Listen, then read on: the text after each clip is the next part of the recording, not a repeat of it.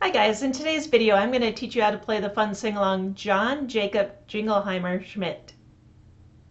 To start off, place your right hand thumb on D, pointer finger on E, middle finger on F, ring finger on G, and pinky on A.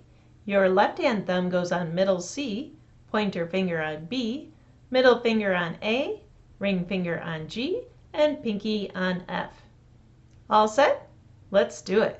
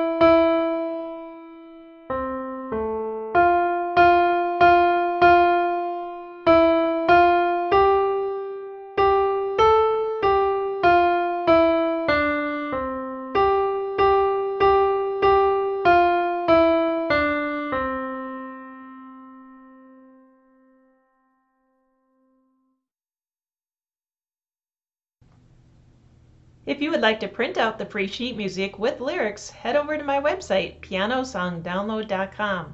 There's a link in the video description down below. I hope you enjoyed this video. Be sure to subscribe for future videos. See you next time.